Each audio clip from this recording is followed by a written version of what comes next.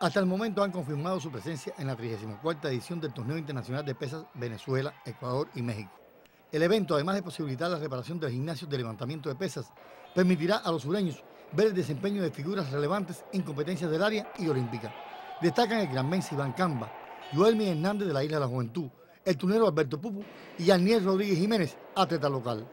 La celebración de este certamen en el territorio tiene como expectativa el crecimiento de practicantes de esta disciplina, como aconteció en 2013, luego de la versión 32 de Manuel Suárez en memoria.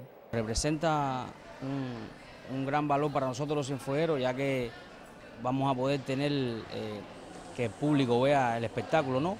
Y eh, ver si podemos insertar un poco más de atletas en nuestro deporte que nos hace falta, tanto en el sexo masculino como femenino.